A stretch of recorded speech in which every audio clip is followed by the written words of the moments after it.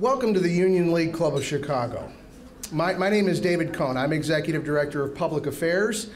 And on behalf of the officers, directors, and members of the club, it's my privilege to welcome you to this evening's program, uh, Chicago in Focus, that we present tonight and have presented for a number of years now in partnership with our friends at the League of Women Voters of Chicago. We thank you all for being with us today. Um, this is a very important program series for us, and it's consistent with the history of this club. And if you'll indulge me, I just want to share a few brief remarks with you about the Union League Club of Chicago and why it is that we have this partnership with the League of Women Voters and other civic organizations. The Union League Club is the only private club in the United States that has an institutional commitment to public policy advocacy and community service. The reason for that dates to our history and our founding in 1879. The, the quick uh, thumbnail sketch is this.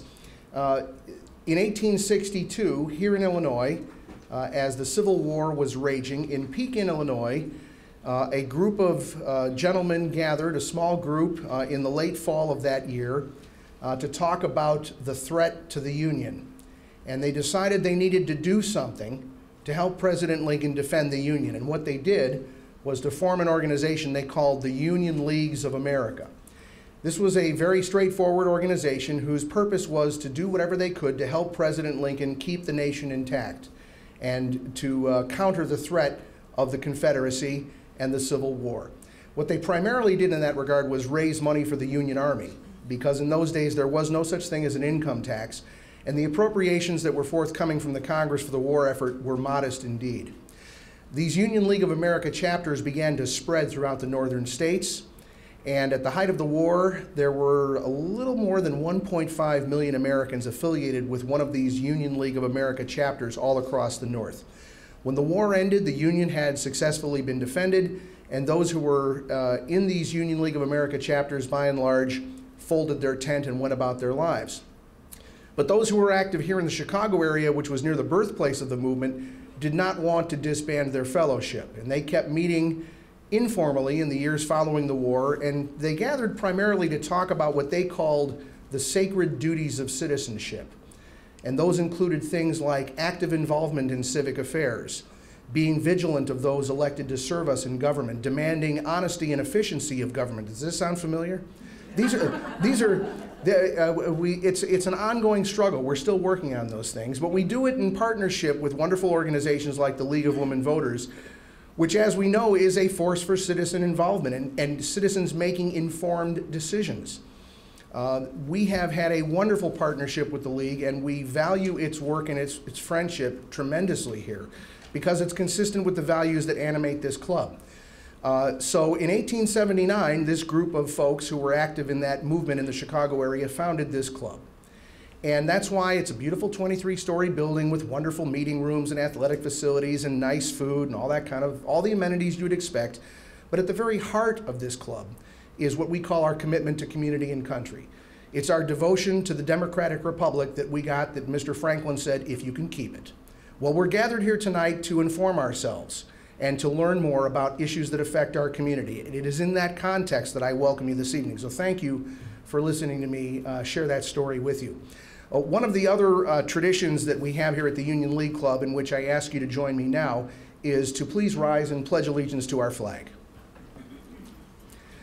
I pledge allegiance to the flag of the United States of America and to the republic for which it stands, one nation, under God, indivisible, with liberty and justice for all. Thank you very much. Uh, and now to introduce our speaker and to get our program underway, it's my uh, privilege to introduce a member of the, the League of Women Voters of Chicago, Jackie Curley. Jackie?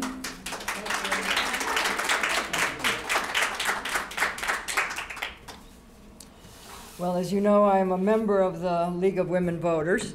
And if you are new to the League, and probably most of you are not, you will know that it has a venerable history. It began, it was founded in 1920, uh, six months before the U in U.S. women got the right to vote with the 19th Amendment. And the League has a dual mission. One part of it is to advocate for or against particular public positions And they do that, they arrive at it by consensus and after a process of study. The other part of the League's mission is an educational one, as Dave said, because just like the Union League, we want to have informed, an informed public, informed citizens who can make good decisions. And it is that part of the League's mission that this uh, event is a part of. The Chicago in Focus series, which was organized this year by Pat Grounke, Many of you know her. Would you raise your hand, Pat? Yes. Uh, is this is part of the league's educational mission. My experience in coming to these, I've never organized one before, is that the events they hold are interesting, the people they invite to speak are informed, and oh my God, they're free. You know, these are free events, and that is something that's really valuable. There are three more of these events in the Chicago in Focus series, and there's paperwork up front. They are all in 2016. The first is on January 20th, and it's on Chicago's city budget. Should be interesting. Now, an additional benefit to holding this series here is that they are, is that they are held here at the Union League Club, where one can gape, and I have emphasized that gape at the art that the club has collected and continues to collect. So I recommend to everybody that you not take the elevator down, but that you walk. You will see so much more, and it is so wonderful. Now, changing hats, I am a member also of this Committee on Child Care, and I believe we managed to give everybody a brochure. This committee is part of a nonprofit called the Working Women's History Project. You see our name and logo. And if you, with the brochure, you can get information about our history, our mission, and why it is that we decided to do work on childcare, in the field of childcare. So what this committee did was to collect the voices of people who were closest to the actual activity of childcare. That included practitioners, people who worked with young children, whether they were home care workers, social workers, worked in a center, whatever, and parents of children who used these services. We collected these voices in order to get a more extensive dialogue about an issue that we think is very, very important. We wanted the information to be picked up by some playwrights, documentarians, journalists to expand the story, and we're very happy that that happened.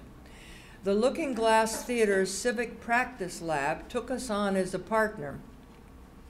And one of their ensemble members has written three short plays based on the interviews that we did. Uh, and Looking Glass will stage these plays about five times in 2015 and 2016 at a venue of our choice. Um, our goal is to use the plays as a catalyst for change. Now, for today, today we will debut a short documentary about childcare, which we ourselves made, and we made it using the interviews that we did before. And the second part will be that Sessy Nyman will speak about the cost to all of us of not having childcare, quality childcare. So, a word about our speaker. Sessy Nyman is Vice President, Policy and Strategic Partnerships of the Illinois Action for Children. In her position, she directs federal and state legislative strategy. She does coalition building. She manages statewide campaigns for policy change and creates partnerships with community organizations, parents, faith based initiatives, and develops grassroots organizing activities and strategies. You do get the sense that she doesn't just push a pencil, I think. Ms. Nyman earned her master's degree in cultural geography from the University of Massachusetts Amherst and holds a bachelor's degree in government and international relations from the University of South Carolina. The program today will begin with our documentary. Then Sessy Nyman will speak. And when Ms. Nyman finishes her talk, we will open the floor to Q&A. And that can be directed to Ms. Nyman or to members of the committee. We're all wearing these little green tags, and we're all sort of in the front, and we have a microphone we can speak to as well. And now, Arlene Prairie, I guess she will not push the button, but I was going to say, this is Ann Gunderson from, the, who, anyway, Arlene conducted and directed the documentary taking a closer look at childcare, and Ann Gunderson will begin the film.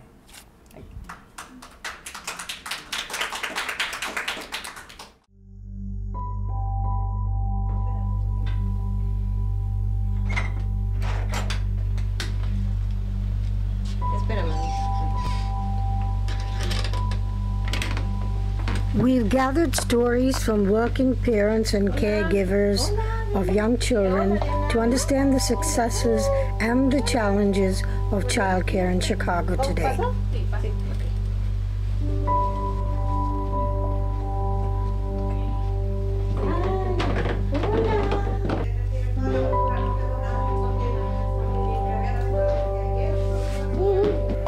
Like this young child, every day in Chicago, over 60,000 young children from birth to five attend child care. Stories of child care working well. So, one little boy yesterday picked up a toy. This is an infant, 12 months old, just walking. Picked up a uh, something from the housekeeping corner. It was an eggplant. You know how they have toy toys. And he picked it up, he looked at it like this, and he went, he used it as a comb. And then he put it on his ear and talked. Ah, he can't talk yet. he can say a few words. So I pointed that out and I said, look, this little boy was not pretending at all. Now he started to pretend. That's symbolic representation right there. That's what you've been studying in your class. So let's see how we can offer him more things to do that would help him to pretend and so on and so forth. So that's how I try and help the staff. I, I saw that they're very loving with the, with the children. Uh, my daughter had a very hard time uh, letting go and, and staying at daycare. But one of the things that I liked about the daycare staff is that they, they gave her time to adjust. They would cradle her the way that I would at home if she was crying. And I'm so happy with the daycare because um, now she's very independent and she even tells me sometimes, don't worry, mommy, I can help myself. And she comes home and she tells me stories. Um, they teach her Spanish and English at the daycare. So I'm also very happy about that because she comes home speaking very good Spanish uh, and very good English. So it, it has uh, surpassed my expectations. He had problems speaking. He didn't speak at all. So he was receiving therapy. But one of the things to, okay, we gotta put on, we're gonna see how he develops in childcare. if He can get social with other kids around him and actually help us a lot because he started developing his improvement, it took like a little while, like at least three, four months. That when I started seeing like uh, he was actually saying things, and actually it was funny for me to hear him speaking English. Like with them, they speak, and they speak in full sentences. Like I'll talk to my grandson, the three-year-old, and I'll ask him, I ask him, I said, so when do you think you're coming over to see me? He says, I don't know, Papa, maybe Friday, you know. And I feel good with the fact that he, he acknowledges what I'm saying and he verbalizes it in a, a, a full sentence. Stories of practitioners supporting families. There was an incident with one of my parents, and uh, she had three children. Uh, she drove, it took her like an hour and 30 minutes or so to get to work from uh, after she dropped her children off to me. She came to me, she said, Miss Yvette, you know, and she was crying. She said, It's been some times where I had to make a decision whether to put gas in my car or to feed my children because I didn't have enough money. But she said it made it easier for me because um, I know that my children will be fed, that you're going to feed them.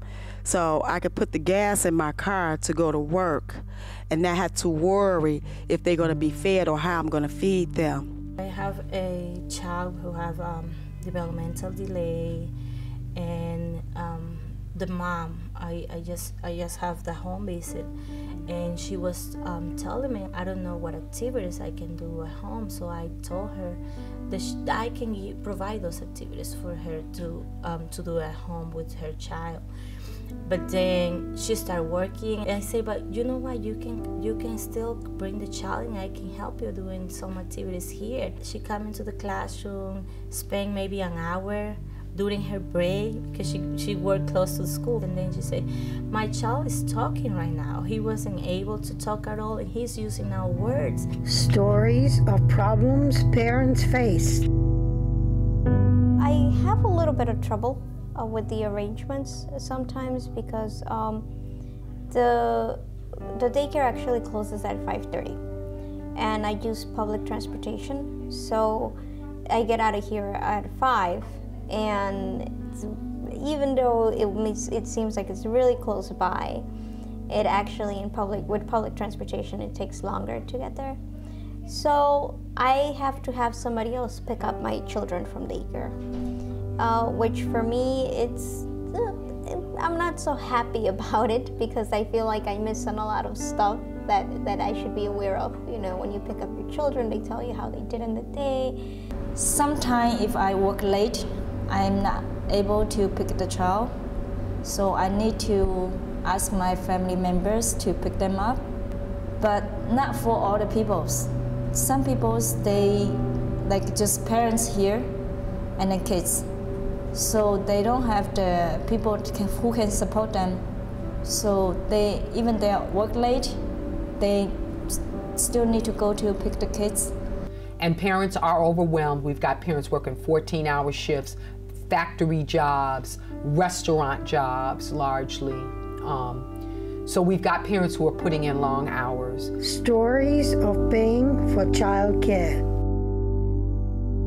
I would say one of the biggest challenges is the uh, copay for parents also because when the co-payments are not paid and you're in centers, most of the time the child can't attend class and that causes the parent to either have to lose, lose work, um, lose pay, uh, child to lose their slot, and it takes a lot to enroll children in the program. And when you actually see a parent striving to uh, work, and um, a lot of us know that minimum wage is not um, a living wage, then it the, the child is suffering, the parent is suffering, and so are we. Yo sí, porque mi trabajo prácticamente gano lo mínimo. Entonces, es, para mí es indispensable porque solamente pago mi copayment. I don't think I would be able to work um, where I work right now. And uh, I think I would have to figure something out uh, with family members. I think I would probably have to change my work shift, um, maybe for the evenings or nights where I know that somebody could be there to watch her, to watch them. Um, even right now with the assistance I get for my childcare payments, what I pay for them is almost 35 to 40 percent of my income. And um, if I were to have to pay the full amount, I wouldn't be able to afford it. I would have to drop out of school and get a full-time job and pretty much pay for pay it. So I would just, I would have to step in, me and my wife, and, and, and take care of them when they're not in school, you know. I would have to quit what I'm doing, but, you know, I would just have to make the sacrifice. If, you know, if it would, if there wouldn't be no funds, then I would have to come up with the money for childcare. I might have to either quit my job. It will not only affect me, it's going to affect my children as well. Delayed payments from the state of Illinois for family child care home providers. Wow, One of the challenges right now with my uh, job is working and not getting paid. The challenge for me is just like everyone else, just being able to stay afloat and keep your business operating and it takes money. Because yeah, it is one of the biggest challenges for me to work so many months and not to be getting paid. But the parents, they absolutely depend on you. Those children, they absolutely depend on you. And it would be so hard to tell them, well, your kid can't come back because the state of Illinois doesn't want to pay me. It's not fair. Stories of low pay for teachers. Coming from private care, um, a lot of the teachers that the co-teachers that I work with, um, they themselves, because of their family size, are low income.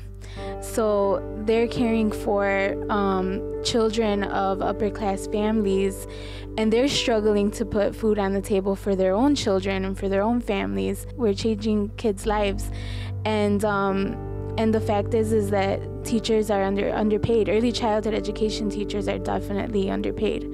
So we need to take care of them too so that they can take care of these young lives. I would put a higher monetary value on um,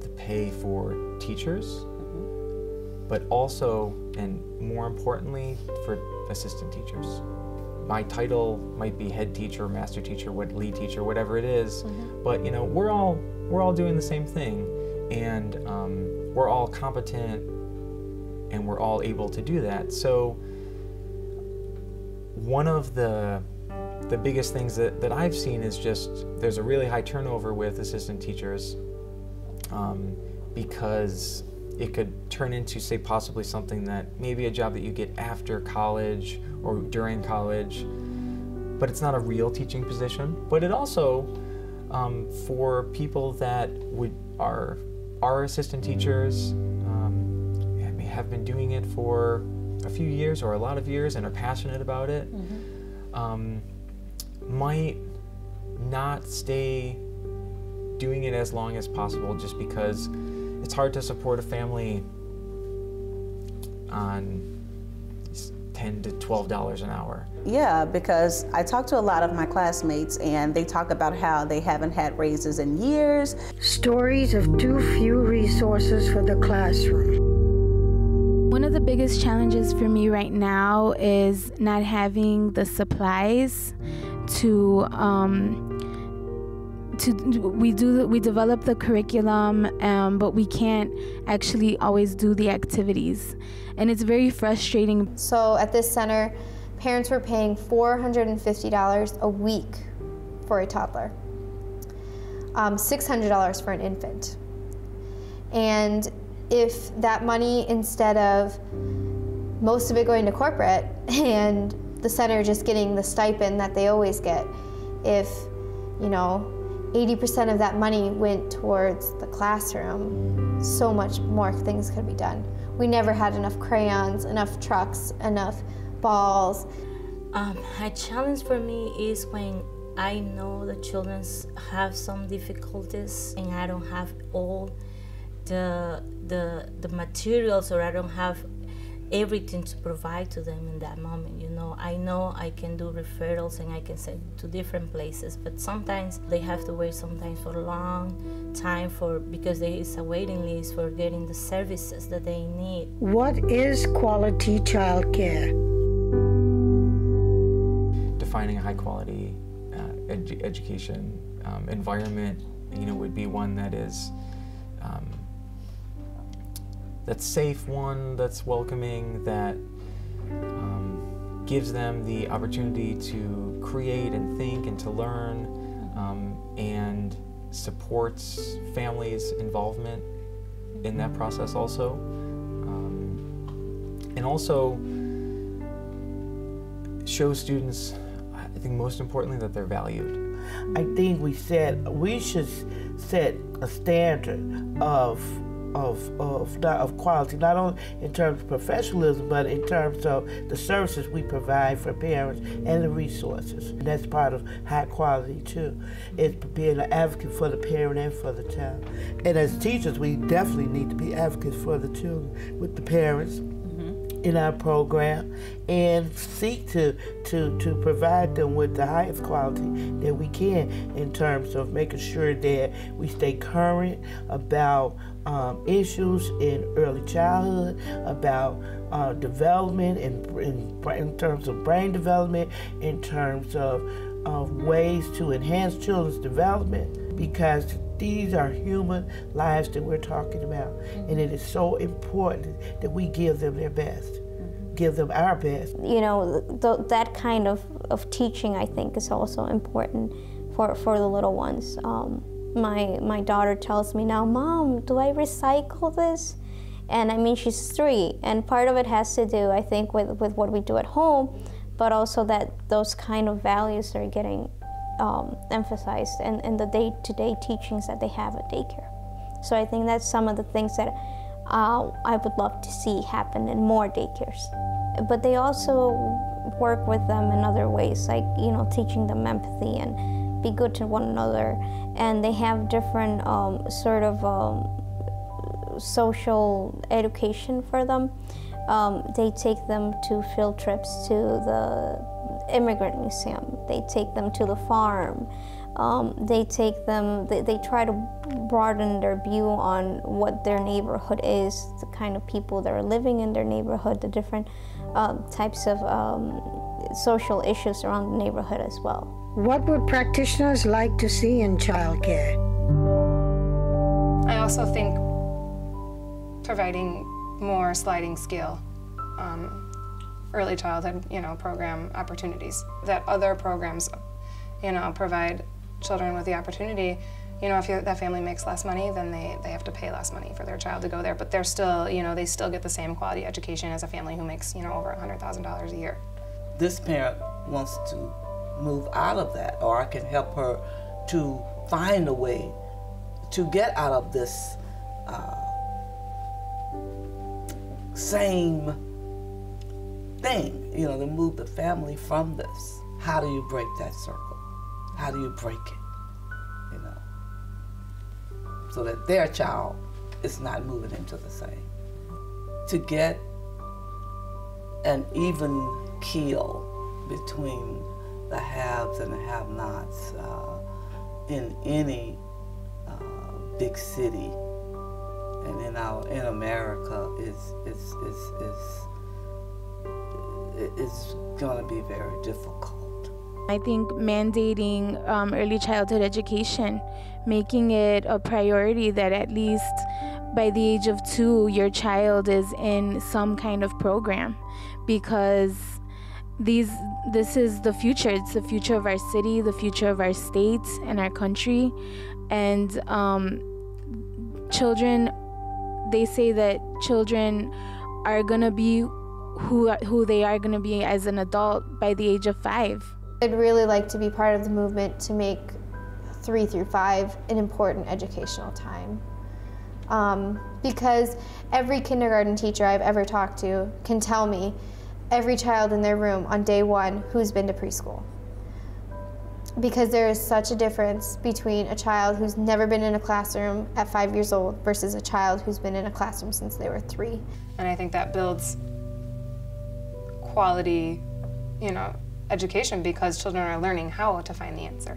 They're not just learning how to be told the answer and to memorize it. And I think that's a valuable skill in life because once you're done with school, no one's going to tell you the answer anymore. You have to figure it out yourself.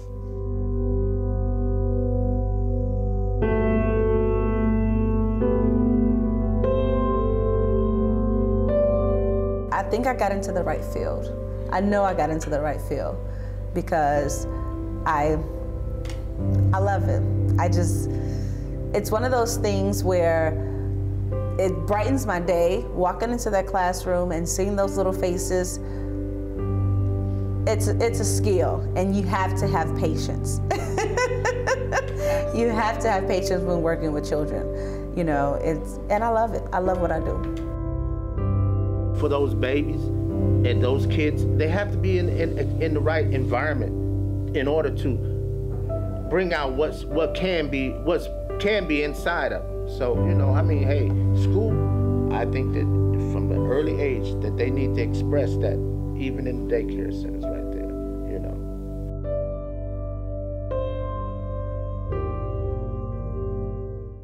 It's great to see you all here tonight and what a great video. So congratulations to um, the committee. Um, so my name is Sessy Nyman. I'm the Vice President for Policy at Illinois Action for Children. Um, and so many folks of uh, who I got to meet tonight and who I met a couple of months ago at Looking Glass um, reminds me of our founder, Sylvia Cotton. So we were started, um, gosh, 46, 47 years ago by a Chicago resident, an activist, um, and a civil rights leader in her time, and somebody who was definitely a feminist. And she saw the writing on the wall and knew that our workforce was changing, that women were going into the workforce. Um, and she asked the question what will happen to children? Where will children be cared for? And what would their days be like? And so she helped found the Daycare Crisis Council of Metropolitan Chicago. Um, and that is um, that was our beginning and she is our founder and i'm happy to say that her children are still actively involved in our organization and if she were still with us um, then I think she'd be pretty happy about what we've been, um, what we've become, and what we're able to do, and who we partner with. So, um, so let me tell you a little bit. So that's our founding. We are uh, many things to many people. Um, we are my part of the shop is we are a statewide policy and advocacy organization. That's what Sylvia wanted to do. She wanted to make sure that the issues of young children and their caregivers are brought to light, and that that child care providers and families of young children have a voice. And um, so she wanted everybody to be an activist, particularly around young children's issues. Um, and we are also the Child Care Resource Referral Agency in Cook County. So um, Illinois has 15, 16 resource referral agencies across the state, and we help administer the Child Care Assistance Program for the state of Illinois. Um, some days that's harder than others.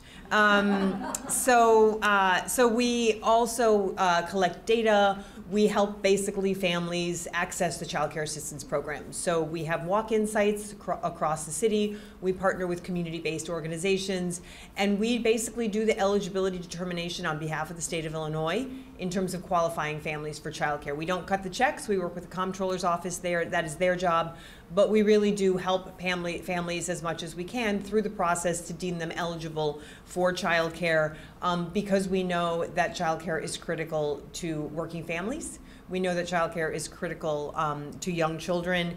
And what I want to talk a little bit about is it is a critical um, economic engine in our state and in our country. Um, so, real briefly, I want to tell you a little bit. So, I told you a little bit about the history of Illinois Action for Children. I should say that I've been there for about 16 years, um, and I started as a as a statewide organizer. So, I went out and learned about childcare by doing exactly what you did in the video, going out and meeting childcare providers, understanding what their day was like, understanding the challenges that ha- families have in accessing that care and also understanding the challenges that providers have in delivering the high quality care that they're that they're there to do. Um, and unfortunately i am working on a lot of the same issues that i started working on 16 years ago. Um, we've made some progress um, but hopefully uh, we will um, make some more and lives lives seem to get, be getting harder for families as opposed to easier and that, that makes me sad.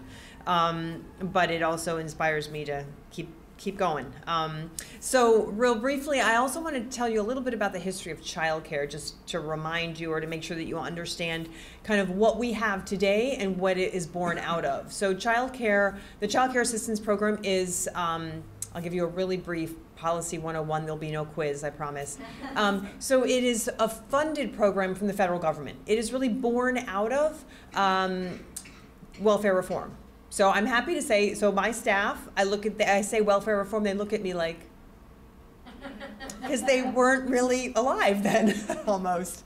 Um, but I suspect that many of you remember 1996 and our um, movement as a country to tell low-income working mothers that they had to go to work.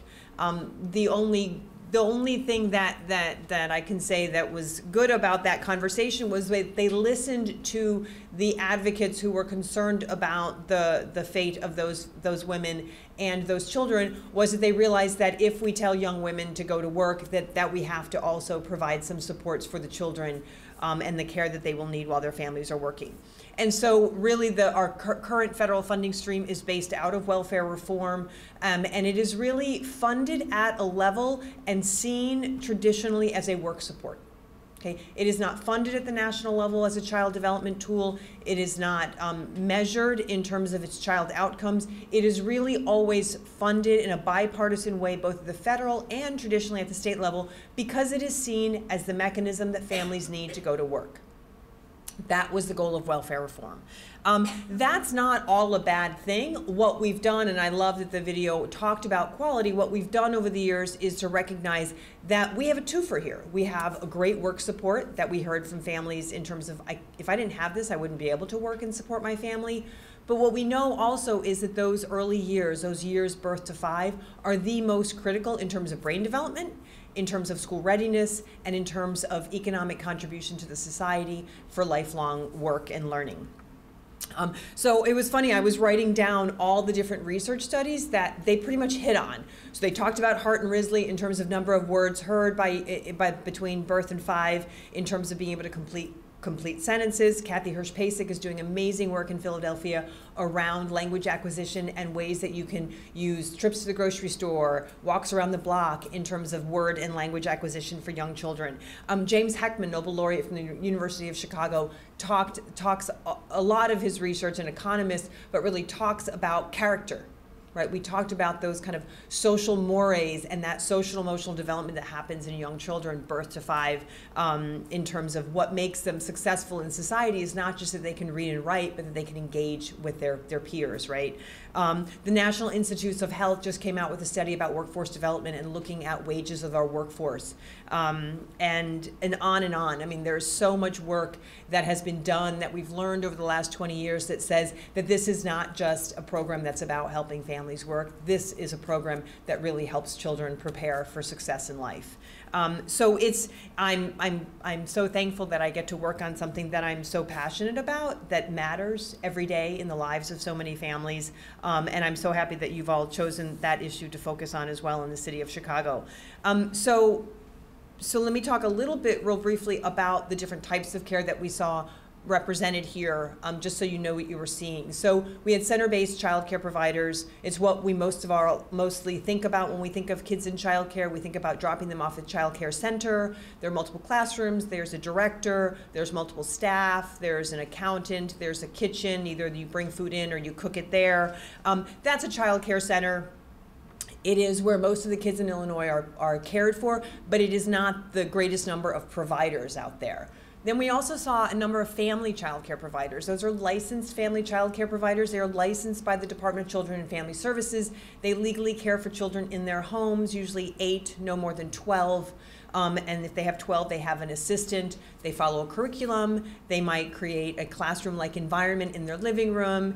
And um, they are a critical part of our early childhood infrastructure. What you probably didn't see represented there, or at least we don't know that we saw that, is what we call license exempt or family friend and neighbor care. And those are the lady down the street, the sister of you know the my, my the mom's sister or an auntie somebody who is part of that that person that mom's network whether it be a social a cultural linguistic ethnic or familial network or um, so they're either related or not related to the child. And they are also a critical part of our early childhood infrastructure specifically for childcare. Um, in terms of, and I'll talk a little bit about some of the data that we've actually just been working on in, in Illinois, and there's some amazing work that's happening at the University of Chicago with Julia Henly and Susan Lambert in terms of looking at work schedules. So what a part of my job is I work with the General Assembly. Um, again, that that is also harder some days than others. Um, and um, one of the, you know, when I started doing this work many years ago, I, I came in with Governor Ryan. I tell people I came in with Governor Ryan he went to jail. then I worked with Blagojevich, he went to jail. um, so um, it's, you know, it's, life is trying sometimes. Um, so, um, but what, uh, what I used to say my job entailed was to helping legislators understand what poverty looked like in their district. Right? There are huge assumptions that we make as a society, some more than others, about what poverty looks like and where it lives. There are assumptions that they are that is only in the city of Chicago, and that they are people of color, of low education, um, and we don't think about life circumstances. We don't think about tragic illness that bankrupts families. We don't we don't think about those kind of realities. We make assumptions, and we and by God, I'm sticking to it. Um, at the time when I worked in uh, in the legislature back under Governor Ryan, I will tell you that the highest welfare caseload actually was in Danville. Representative Bill Black had the highest population of TANF recipients in. Um, in the state of Illinois, but he oftentimes talked about the city of Chicago in terms of we were, you know, kind of pulling the rest of them down. Um, I used to live in Massachusetts, as you heard. I went to graduate school there, and um, it was the same dichotomy. There was Boston, and then there was the rest of the state. Um, so Boston, you know, kind of sucked the state down, and the rest of us, you know, had to pay the price. And I caught like, well, that's actually where all the money is generated in the state of Massachusetts, as is the case oftentimes in Illinois as well details. Um, so, um, so I, I, I, spend, and I, I realize that I still have to talk a lot about the realities of working poor in, in, in Illinois and in this country. And so I want to, I want to point out really quickly that, um, that centers are critical in terms of school readiness. Um, so, sorry, I'm going to, I'm to change gears a little bit. So I want to talk about the value of, of early care and education, specifically of childcare, and, and how that happens both in, in children's learning, but also in terms of all the other ways that childcare has an impact on our society and why we all should care. My kid isn't childcare age anymore, um, uh, but I, it matters to me um, in terms of that families have access to high quality early care and education. All of all of us should care about that. And I tell legislators all the time who say, "Well, I don't I don't have a kid that you know I, I why, why do you have kids if you can't pay for them?" Um, that you know that's that's just an ignorant statement, but they still say it. Um, and I tell them about the kind of societal value of having everybody on an equal playing field, but that is not necessarily our reality when we start off, right? So in center-based care um, you know, we have an incredible opportunity to teach children and to be school ready, right? One of our best spokespeople, we think all about like who other than me can tell this story. One of the best spokespeople that we have identified through polling um, over the years are kindergarten teachers right? So she said it. The, if you get a kindergarten teacher to talk about the value of early childhood education, it is much, much more effective than if myself or an early childhood teacher talks about the impact of early childhood. Because for some reason in society, we respect kindergarten teachers, but we don't so much respect people who work in a child care center. Um, but most people call that daycare. Um, so, uh, so we know that it affects children's learning, it affects their school readiness, we also know that many, many families have their children's special needs identified in an early care and education in those years birth to three. And so they're referred to early intervention services that are it's a federally mandated program that allows that child then to start school ready to learn. It is much easier to prevent as opposed to remediate, right? And so we know that early intervention special services are, are referred to through childcare because so many folks in our state and our country don't have a medical home. They're not getting that from their pediatrician because they don't have their own pediatrician. They get that through their childcare provider. We know that we taught we heard in the video, families are getting healthy meals. At Illinois Action for Children, we help administer with the State Board of Education for child care providers to access the free and reduced lunch program, which also works for child care in terms of meals and snacks. Right, so kids in child care are getting healthy food, they're getting warm meals, they're getting fed throughout the day when oftentimes they might not go home to that because of the level of poverty or insecurity that they live in. We know that the, in, in Illinois, we have a great state pre-K program. It is two and a half hours a day. So when folks go to work, how many people get to work only two and a half hours a day? Anybody? Anybody? Because I'm going to apply for your job. Um, you don't live on two and a half hours a day. People don't hire at two and a half hour increments. And so the state pre-K program is an amazing program, but it is only funded, re despite recommendations that it be a full day program, it is only funded at a two and a half hour a day program. So we make investments in our state from our state board of education into a pre-K program, but the majority of working families who really benefit from those pre-K services can't access them unless they're housed in a community-based childcare program. Right? So we blend the funding streams. So they get that two and a half hours a day of pre-K, curriculum, teacher, assistant, 20 kids in a classroom, but then they also get that wraparound of a child care day, right? They can stay there till six o'clock when their parents can pick them up, and they don't have to sit at home at summer because the child care program is going to stay open in summer. So, child care programs are the linkage that low income families have in communities to so many other services. Many of the providers I work with also know that they have a homeless child in their program, and so they work with that family to access homeless services. They really are that kind of one stop shop. So there's huge societal benefits in terms of really what childcare brings to that family and that community. Family childcare homes, same thing those are but there we get a little bit more flexibility. So we heard uh, that the woman had a hard time she wasn't able to pick up her kid because um, the child care program closed at 5.30 the, many families choose licensed family child care and license exempt because it has flexibility in hours right? So how many folks have a kid or grandkid that went to a center where you get charged at 15 minute increments? So if you pick up late you have you get charged. Um, and so I have all these colleagues that like run out of the office because they're like beating the clock, right? Because they're going to get charged if they're more than 15 minutes late, and then it, the clock starts ticking. Um, family child care providers oftentimes will stay open until 6 or 7. They oftentimes will receive children as early as 6 a.m. because, again, an hour and a half commute, two buses and a train, whatever it might be. Um, and they oftentimes, if I call, I just got pulled into overtime the child can stay there, right? It's where the fam- it's where the provider lives. They have that flexibility. They have that very personal relationship with the families they care for. The other thing that we know that happens more so in family child care than in centers, but it happens in all caregiving situations, is that there's flexibility in terms of I can't make my copay this week. I have to choose between putting food on the table or paying my copay. And so there is flexibility with those family child care providers, particularly in terms of working out other arrangements, creating a payment schedule that's a little bit um, more staggered, um, whatever it might be. I want to talk really briefly about family, friend, and neighbor care. Just to give you a couple of statistics, about about 90, over 90% of the children that are in the child care in the child care assistance program, their parents are single. They're they're in single parent households. The majority of them, as you can imagine, over 93% are single single women headed households. So there is nobody to stay at home to, to care for that child. Um, they are the, the sole bread, uh, you know, kind of supporter of that family. 46% of um, folks in the child care, child care assistance program work what we call a variable work schedule.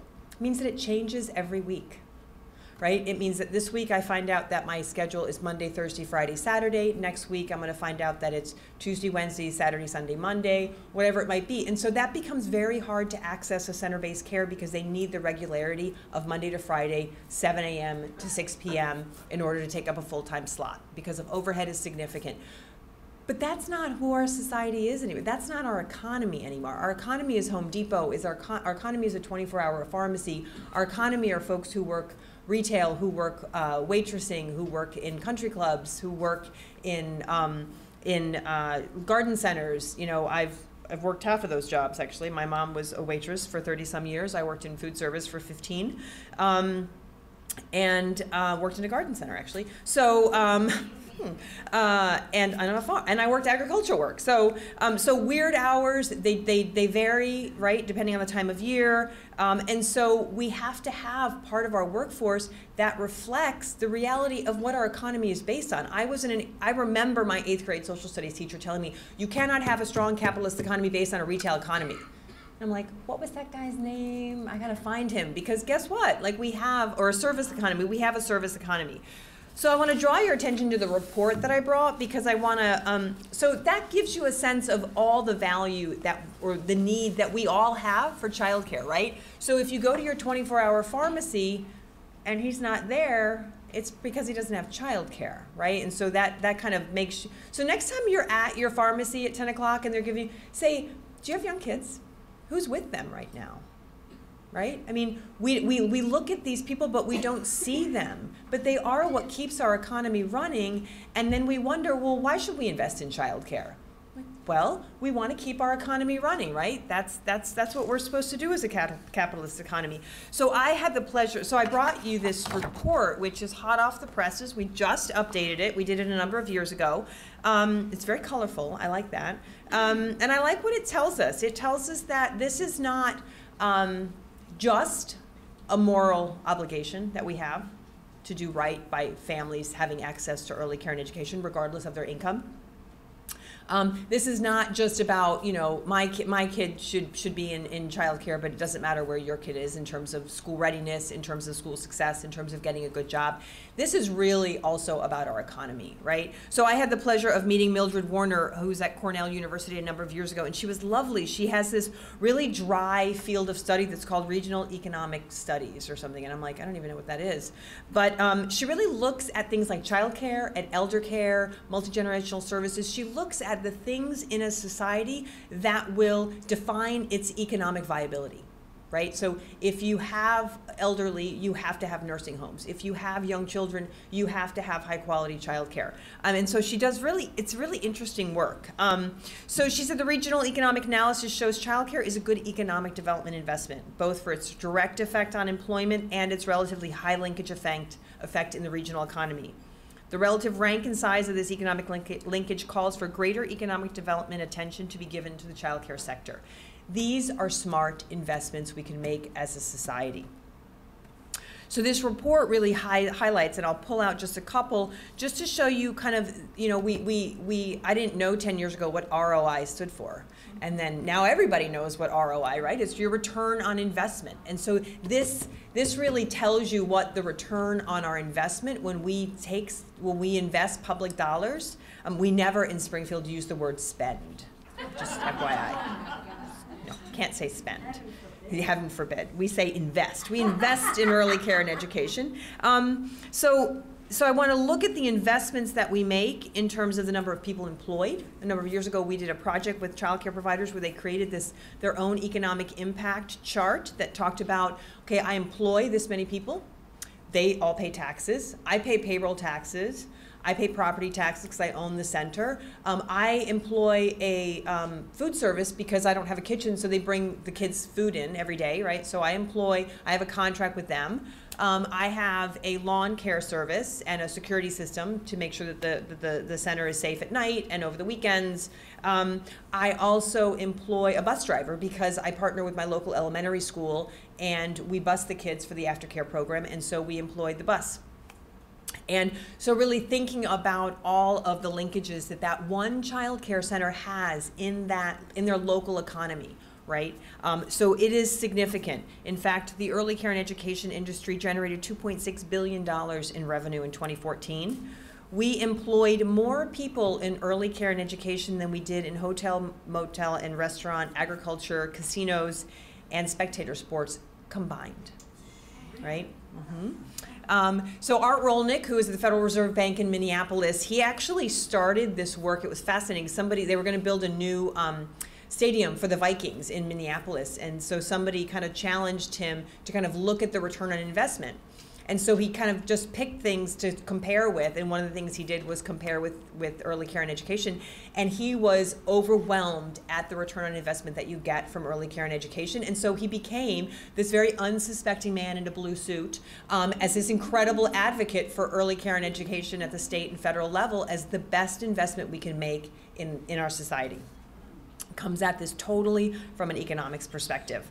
Um, so we know that if we if we invest one dollar in early care and education, it generates two two dollars and fourteen cents in kind of additional economic activity. So conversely, if we take a dollar out in this environment, we have to think about what's being taken out, right? If we take a dollar out, we're costing our larger society $2.14 in terms of lost economic revenue in our society. There is significant re- reverberation impact that where we find ourselves right now in Illinois um, should make us all afraid, right?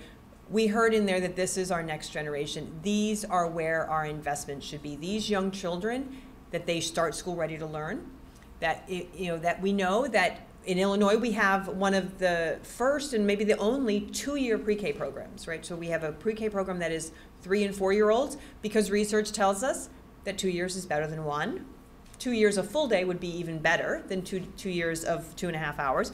But we also know that the major- many of many of those kids are in community-based childcare programs where they're getting two and a half hours of the State Board of Education funded pre-K, but they're also getting that full day of of funded childcare that is also school readiness, that is also social emotional development, and we also know that they're getting linkages to the other services that they need for their families to thrive. At the end of the day, however, kids can be in a great, great childcare program, and if they are still going home to poverty and hunger, homelessness, there's only so much we can hope for, right, in terms of outcomes. So this is part of, but not a panacea. It is part of a larger solution, but it's a really nice entry point into how do we reach families, the most highest need family, highest risk families and their children, and how do we connect them to the resources that, that they need to thrive. We want everybody, we know that Head Start, early Head Start, childcare, and pre-K work together to really provide the support the foundation, the things that kids need um, to, sur- to survive, to thrive, and to do well. We know that the number of prison beds are determined in any society by the number of third folks, kids who, who fail their third grade reading scores, right? So we're building prisons at a faster rate than we're funding education. This is a particularly um, critical issue in the city of Chicago right now and in our state.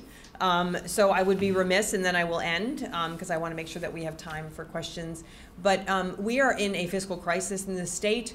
We, um, you know, not only are we used to be known for the state that sent governors to jail. Now I think that we will be known for well, we already are known for the the largest pension unfunded pension liability in the country. Um, we have had significant downgrades in terms of our credit rating as a state and as a city because of the inability and unwillingness of our state legislature to address the root cause of our problem, which is an inadequate and unsustainable revenue stream in the state of Illinois and the economy. It is not because we are a um, spend thrift or a, a, a spending state entirely. It is because we have, a, I want to take you back to the economic impact. We have an economy and a tax system in Illinois that is based on manufacturing and agriculture and yet we do not have, we are not an agriculture or manufacturing state anymore, right? I am sorry to say that that has gone offshore, overseas, or just dried up altogether because we have computerized it. Um, and so we need to address our tax system in order to create the revenue to support the state that we all want to live in and what the, where these kids need to thrive. Um, the Child Care Assistance Program has been in a crisis for the last number of months. We had a bit of a victory this week. The governor um, agreed last week to roll back some um, draconian cuts that he'd made to the Child Care Assistance assistance program. Um, what was in place up until last week um, since July 1st, families went from being able to make 185% of the federal poverty, which is um, for a family of three in you know uh, 30 30 some thousand dollars, to or about $2,200 a month, to only being able to make $664 a month. There's basic so it went down to 50% of the federal poverty. There is basically nobody that can survive at all anywhere, not even just the city of Chicago, anywhere on 50% of the federal poverty. Um, and so that was taken back up to 162% of the federal poverty this past week. Um, we also had some other changes that further restricted the access to the child care assistance program. Um, those were rescinded by the administration. And um, unfortunately, the what happened on July 1st, they also raised the copayments. We heard about the hardship that families have in terms of paying higher copayments. Those have stayed at a higher level, but they are, um, but coupled with all the other things that happened, they were really very unmanageable. So, but we find ourselves in an environment that doesn't look at the data. It's not looking at the return in investment. It's not thinking about long term goals and gains. It's thinking about short term ideology. Um, and that is dictating our policymaking in the state of Illinois. I am I am afraid for what's going to happen to families. Um, I think that that that people are valued differently based on class and race um, and geography in our state increasingly and in our country. Um, so I don't want to leave you on a negative note. So let me think how I can turn this around really quickly. Um, you know, um, I just like just went down that rabbit hole, didn't I? Um, sorry about that. I tend to do that. Um, so, but I, I do think that we have, in Illinois particularly, we have an incredible funding community that supports advocacy. We have incredible groups like the League of Women Voters, who I've worked with on and off over the years, because we think that um, while we're nonpartisan, we're a C3, we're not a C4. We think it's really important that early care and education be part of an education conversation that's happening with every candidate, with every campaign, because learning begins at birth. We know that. And so, how do we start to integrate and to really, you know, the city of Chicago is involved in a collective impact strategy that's called Cradle to Career. How do we really shift the conversation to be just that from cradle to career. I used to tell legislators in my sassier days as a young woman um, that children are hatched at the age of five when they show up in your kindergarten classroom. Um, why is it that we would be outraged at the instability of a third grade classroom in terms of having three teachers in one year, and yet we see turnover in a childcare classroom over and over again because of because of undervalued and under-resourced teachers in classrooms, and yet nobody seems to be outraged. And yet the impact that that has on young children's learning is significant and it is lasting. Um, Oh, sorry. So, but we have the opportunity. So we have an incredible opportunity with early care and education with the advocates that the providers themselves. I mean, I, I love that you guys found these these ad, these providers who are such articulate advocates for what they do, for the families they serve, for the compassion that they have for the kids um, and and the families that they work with, and that that's how we change this, right? That's how Illinois became, became originally one of the leading states in our nation in terms of our early care and education system. The investments we made, the integration of different types of early care and education working together, family support services that we have in terms of our home, vetting, home visiting and prevention initiative. We have a really good structure and infrastructure and foundation for our early care and education system. It's it's it's there for the making, it's there for the growing. We have to be cognizant, we have to be activated in order to, to preserve it and to protect it because there's a lot at stake, right? I mean, kids are young for a very, very brief amount of time. So with that, I think I'll end.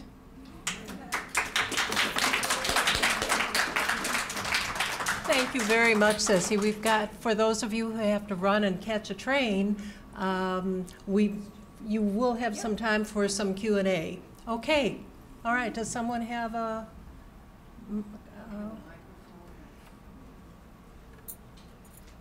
Could you talk a little bit about the impact of the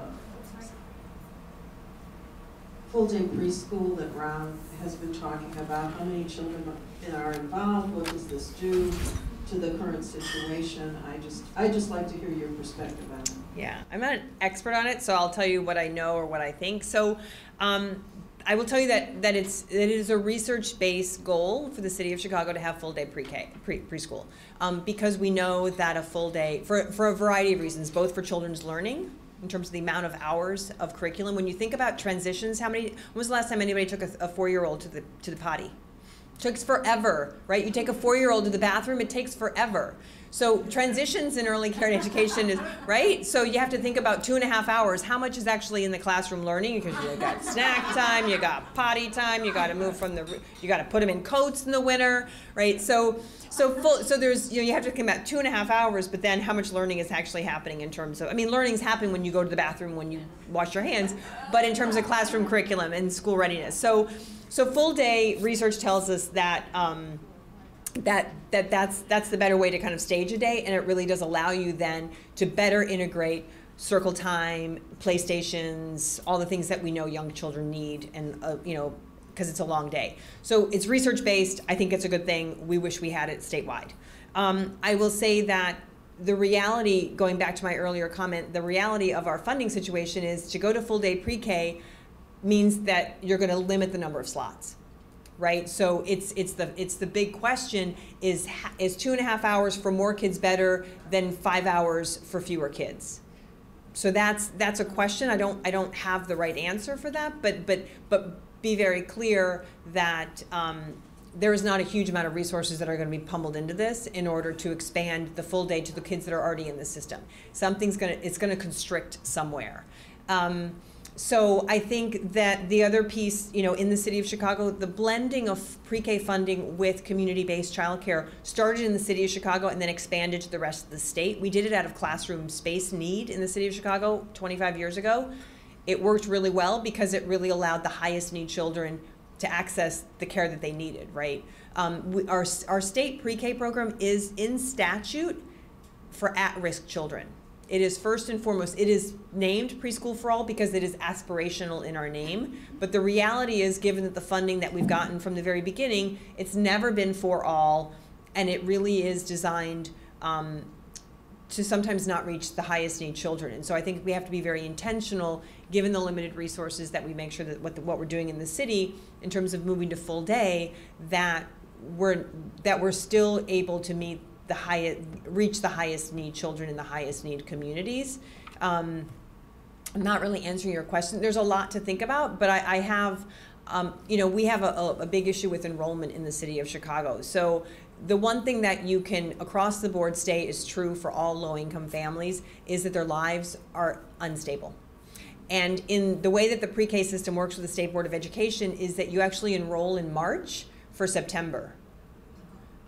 Those people have no idea where they're going to live in September. They don't know what they're going to be doing. They have, might have changed jobs three times. And so the idea of having to enroll that early before, you know, so we've tried to really work with the city to think about yes, some some families might be able to do that, but we have to reserve some slots across the city to allow for walk-ups on you know the day after Labor Day, right? Where, where which is what happens in low, in low-income communities because they just came in the neighborhood, right? Um, and so I think that we have to think not just about what happens in the classroom, but how do we get kids there, right? It is not the if we build it, they will come. Does not work for the kids that we really, really want to reach. And so I think there needs to be some real intentionality there. And you know, the mayor does have a task force um, or an executive learning committee or some, I don't know what he calls it. They're all called same, some variation of the same thing. But he has like a city um, kind of early learning executive committee that helps him think about these things. But I think it's um, it's it's got to be it can't be secondary to our K through 12 system. It's got to be integrated in terms of what we think about we want third grade reading scores up, we want improved high school graduation, we want a kids, we want kids college and career ready. That doesn't start in kindergarten. It really does start in the in, in the birth to five years. And so how do we start to kind of have the conversation, have have that be part of the same conversation and not K through 12 over here and early childhood over here. So I'm, I'm a little I'm a little fearful, given that there aren't additional resources coming into the city, what, what that what that would mean for full day. But I, I think it's a good goal. Yeah, hi. Um, I'm a retired administrative hearing officer from the State of Illinois Department of Human Services. I retired 13 years ago, and I did occasional hearings um, on the appeals of largely women, but I think there may have been some men who uh, tried to get their child care case redetermined, they were unsuccessful, they were cut off and so forth. So my question is, do you and or your organization uh, have any awareness as to how many people since the beginning of the fiscal year may have filed appeals, possibly with little result, against what has happened to them in terms of having their child care assistance suspended or terminated?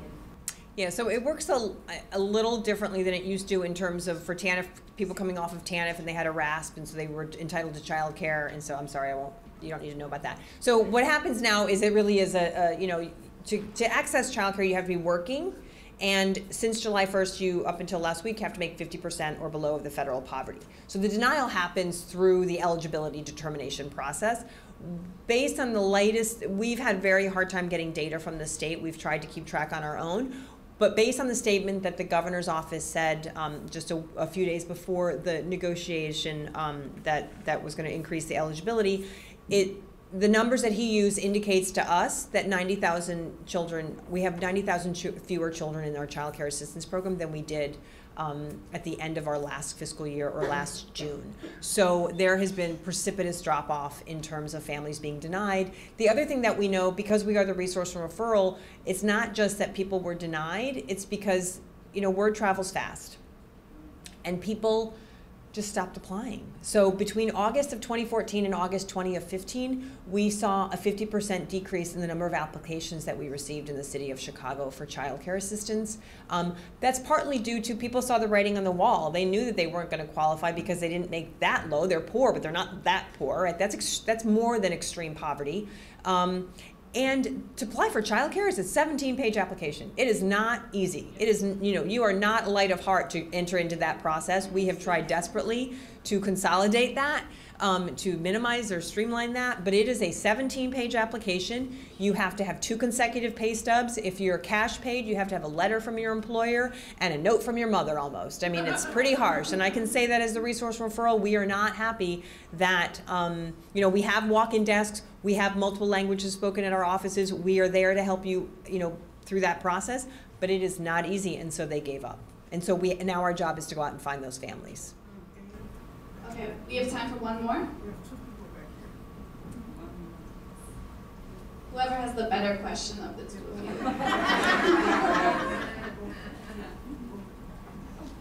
I just wanted to ask, I was struck by the young lady in the uh, video who talked about all the money going to corporate. I don't know whether she worked for KinderCare or one of these other chains, but I do know that there's a lot of childcare. Uh, a lot of people have to go there. And I'm wondering if we were to have more public options uh, based on the schools, uh, even if we had to charge the families who quote unquote can afford it, uh, couldn't we get that better value for money and serve more children? Well, I, I'm glad you brought that up. I actually made a note about that because the the challenge with childcare is is that it's all people.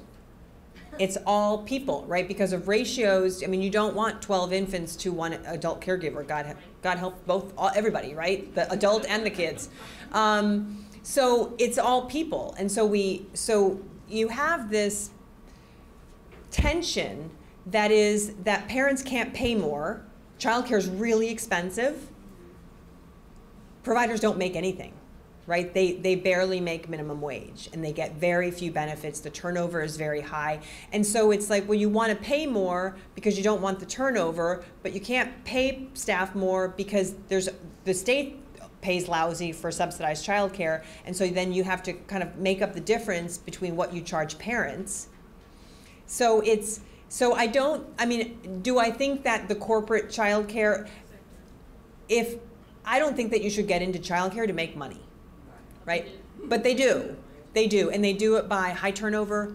Um, they do it by low. Um, I've actually known a child care provider that her business plan was based on 100% turnover because she never wanted to give a raise and she never wanted to provide benefits you know that's that's what that's that's not all of corporate childcare. I know plenty of for-profit programs, particularly outside of Cook. The majority of childcare programs are family-run, for-profit, you know, whatever.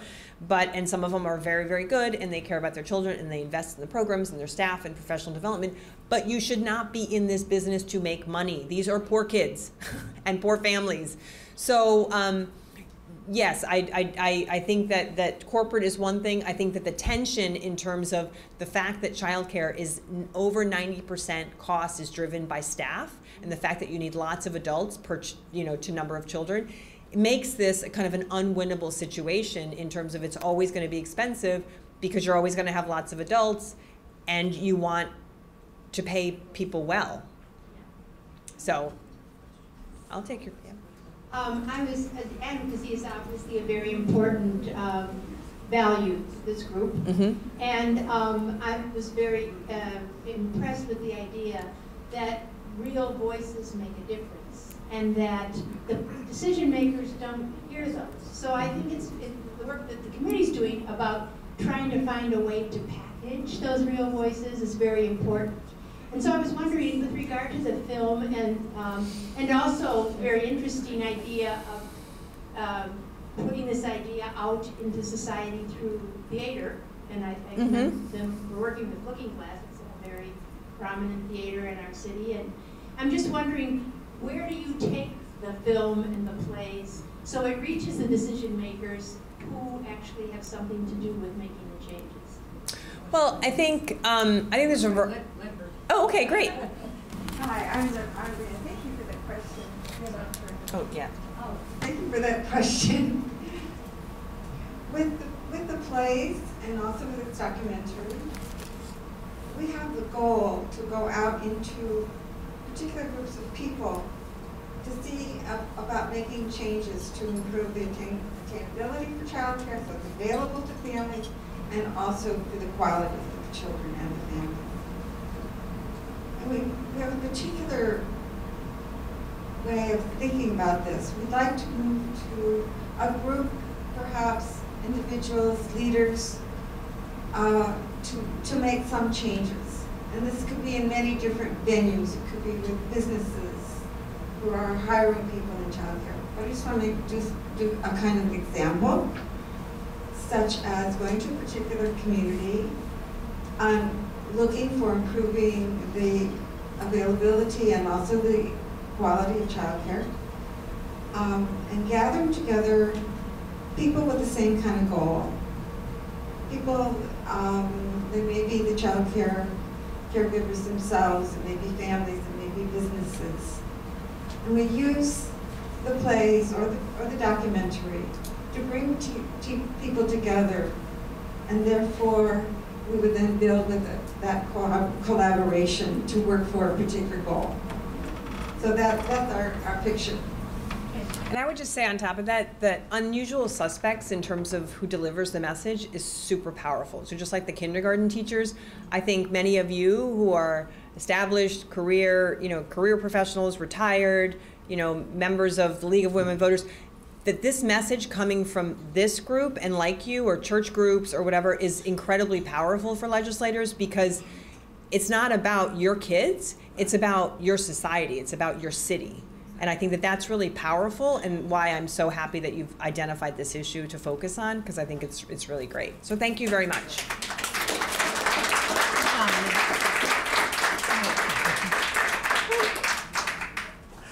Thank you very much. This was an absolutely fascinating uh, evening. Uh, Sessy, I thank you so much, and on behalf of the League of Women Voters and of uh, the Union League Club, we want to give you all sorts of drinking things. So I drink a lot in this job. That's beautiful. Thank you.